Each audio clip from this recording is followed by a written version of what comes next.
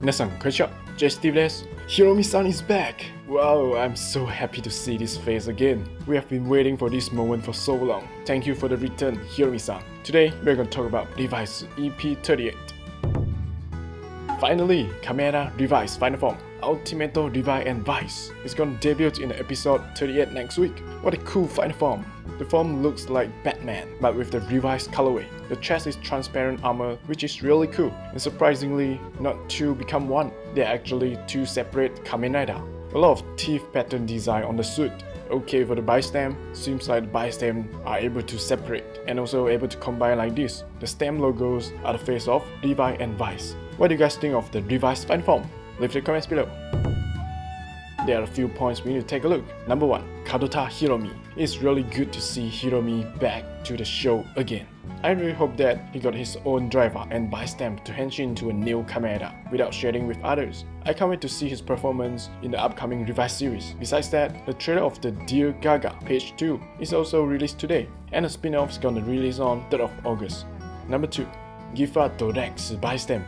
From the EP37 today, we are able to see Professor George is developing the final form Vistamp, Giffard Rex Vistamp for Ikki and Vice to henshin to Ultimate Revi and Vice. Seems like the Vistamp is able to separate to two. Number 3. Surprise form, new Barid Rex. Professor George also gave Ikki the new developed Baritorex Vistamp in order to save Akemi from the demon.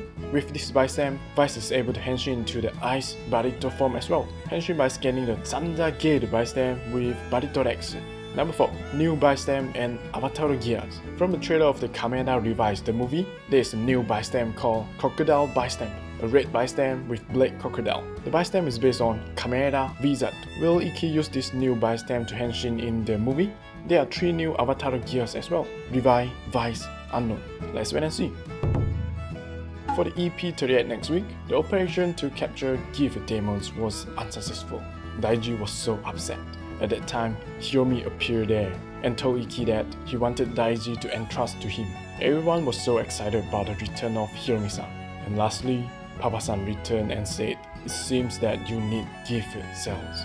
Then use me. From here, we are able to see all the members of Weekendo, and all the members are going to do the team henshin, so stay tuned next week. And I believe next week, episode 38 is going to be a really interesting episode, so stay tuned. Alright, that's all for today. Hope you guys enjoyed. Thanks for being and don't forget to subscribe channel, and see you next time. Ja.